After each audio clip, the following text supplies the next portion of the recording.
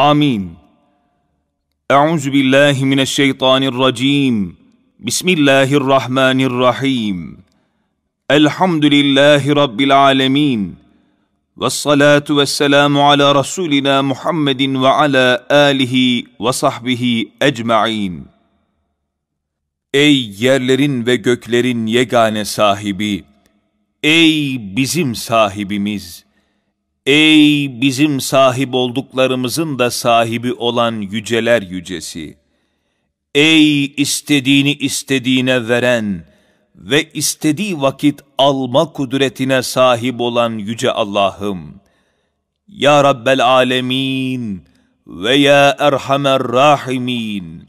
Zatı ilahiyene iman ederek, Habibi Edibin Muhammed Mustafa'ya ümmet olarak, Kelamullah'a gönül vererek huzuruna geldik. Ya Rab, ellerimizi, gönüllerimizi açtık, senden en güzel kabulle kabulümüzü bekliyoruz, bizleri kabul eyle. Allah'ım, bizi haramlardan uzak eyle. Başkalarına el açtırma. Senin emirlerine karşı gelmekten muhafaza eyle. Allah'ım, bizlere doğru yolu göster. Bizleri dünya ve ahirette güzel sona ulaştır. Allah'ım, cümlemizi darlıktan, bereketsizlikten, aldanmaktan ve aldatmaktan, hak yemekten, kul hakkına tecavüz etmekten muhafaza eyle. Bizleri açlık, yokluk, kıtlık, kuraklık, arazi ve semavi musibetlerden muhafaza eyle.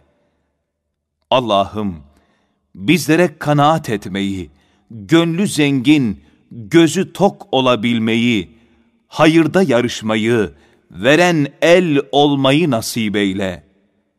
Allah'ım, rızkımız gökteyse yere indir, yer altındaysa yeryüzüne çıkar, uzaksa yakınlaştır, rızkımız zorsa kolaylaştır, rızkımızı temiz ve helalinden eyle Allah'ım.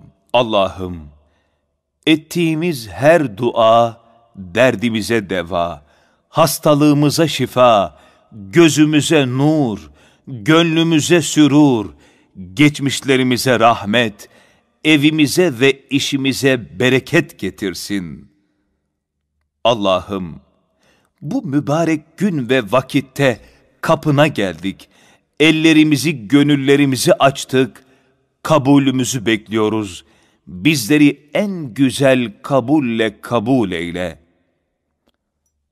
Allah'ım, Hazreti Resul-i Ekrem ve Nebi-i Muhterem, Mürşid-i Alem, sallallahu teala aleyhi ve sellem Efendimiz Hazretlerinin pak, münevver, mutahhar, mücella, aziz, latif, ruhi şerifleri için, al ve ashabının ruhları için, çehar yarı güzin, Rıdvanullahi Teala aleyhim ecmain hazaratının ervahı için, Piri Piran, Pirimiz Ahi Evran Hazretlerinin ruhu için, Selman-ı Pak Hazretlerinin ruhu için, İdris Nebi, Davut Nebi ve cümle gelmiş pirler ve üstadların ervahı için, bakide kalan üstadların selameti için, işlerin güçlerin asan olması için,